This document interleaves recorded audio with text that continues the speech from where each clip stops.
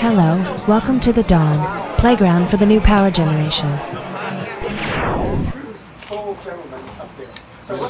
So I say you can call 404-827-1500, ask for viewer, hit zero and ask for viewer services and leave that comment on the comment line. uh, thank you very much for that. Uh, You know, I was on the radio this morning, everywhere I've been, you know, I'm not going to have an argument with someone about the Bible.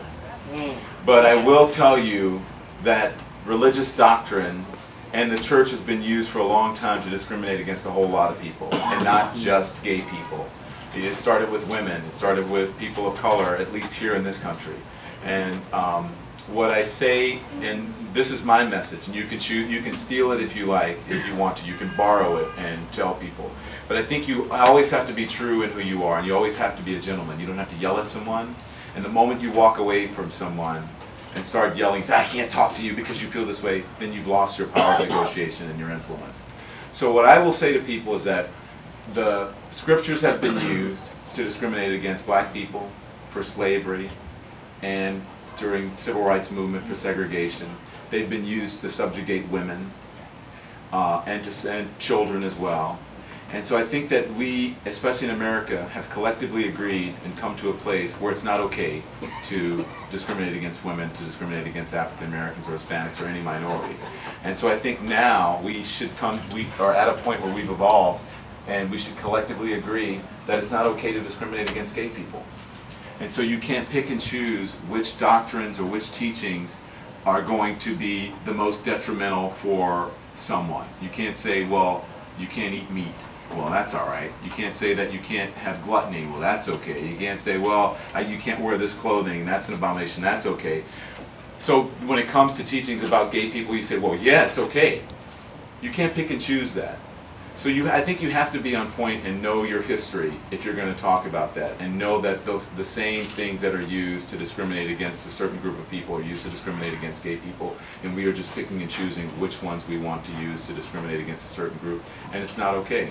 But I also think, and I know this, that your power is in your dollar.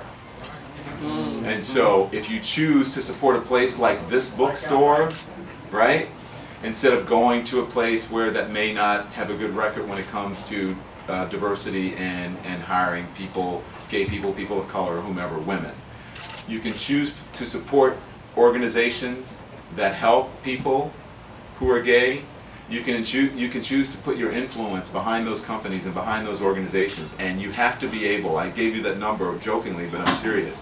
You have to be able to call, write, email those places and say, hey, this is not right. We're not going to stand for discrimination. And in your own daily life, you have to just walk in truth and be who you are. And if somebody knows a gay person, it's going to make it a lot easier for them not to discriminate.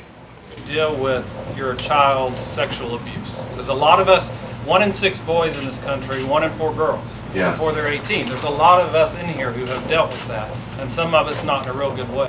Well, there's an organization called One in Six that recently to be on their board and I'm considering. It's a great organization, but they estimate that it's actually probably more than one in six. I don't know. Uh, yeah, people at that I get that question at every single signing.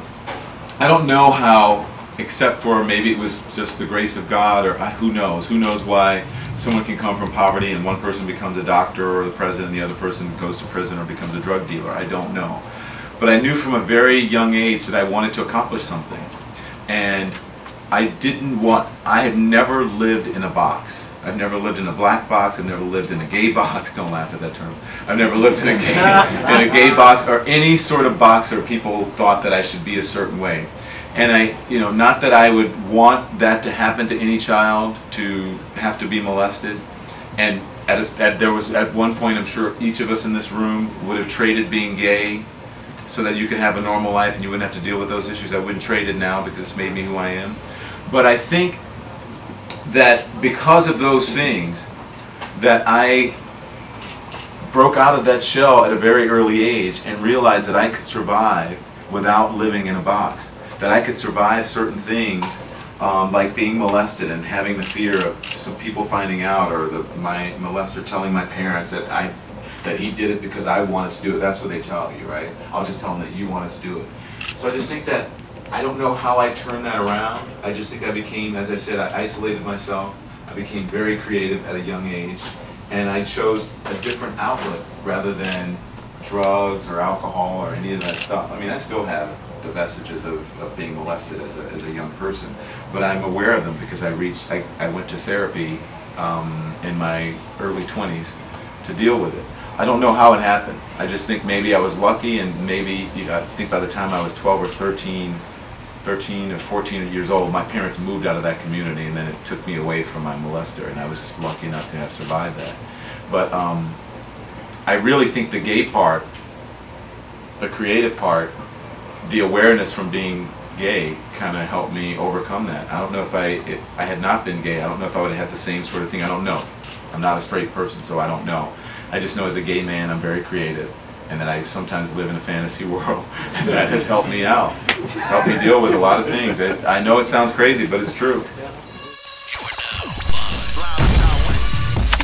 You're watching Gay TV Atlanta. Welcome to the Dawn. You're watching Gay TV Atlanta. Welcome